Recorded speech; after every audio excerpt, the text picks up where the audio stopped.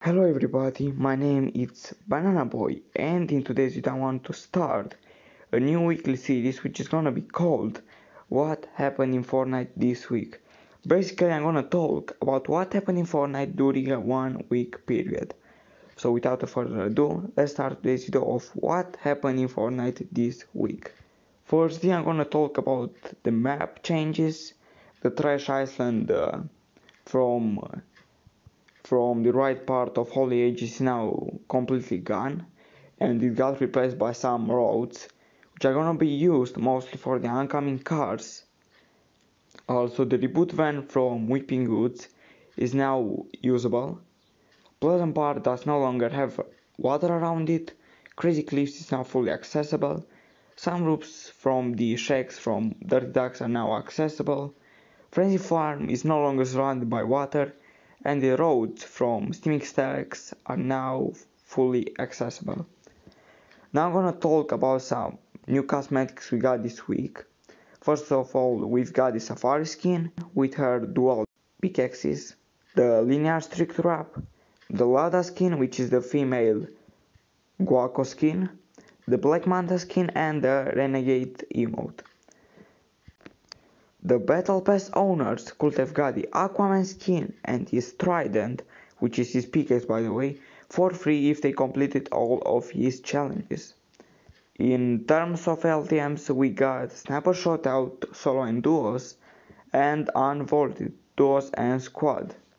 Now I'm gonna talk about the leaks we got this week. If you're not interested in them, or you don't wanna get spoiled or something, feel free to close the video. So we got some release dates for certain things, like the release date of the next update, which is gonna be on 21st of July. That update is gonna bring cars to the game, by the way, and maybe some things related to the Fortnite birthday, which is gonna take place on 25th of July, by the way. Uh, also, if you don't know yet, the registration for the Galaxy tournament are gonna start tomorrow and the tournament is gonna start between 25th and 26th of July. For being able to join this tournament, you should be able to download Fortnite from Google Store on it. Otherwise, you can't join the Samsung tournament. Also, we got a new update about those FNCS drivers, as I said in one of my previous videos. Uh, this pack includes an emoji, a spray and a black blink, all you have to do is to have your Epic account connected with your Twitch one and watch 30 minutes of one of the streams that show FNCS live. Also don't forget to have your Epic account connected with your Twitch one within a 6 month period. If you have your Epic account leaked for more than 6 months with the Twitch one, I recommend relinking so you are gonna be eligible to get those rewards. Also, it seems like a community battle with V-Bucks as rewards started in Brazil.